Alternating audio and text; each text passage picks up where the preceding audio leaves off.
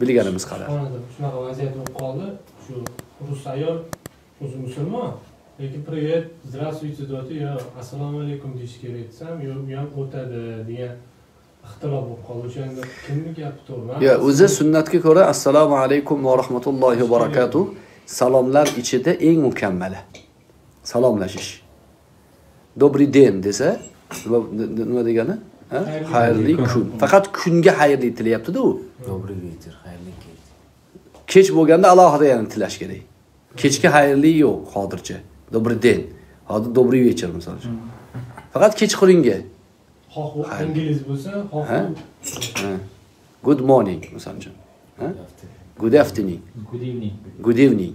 Bu qanaqadir xoslangan bitta Hmm. jabhaga bitta qismga.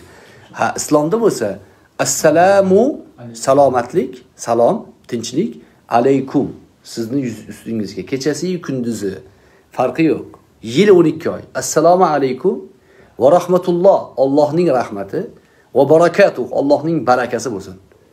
Yil 12 oy. Har soniya kechasiyu kunduzi. Uxlasangiz tursangiz. Mukammalda bu. Savob bo'ladi ya'ni. Hmm. privetga privet ham bo'laveradi lekin savob ma'nosida bu ustun bu. Sunnatda. Понятно Da.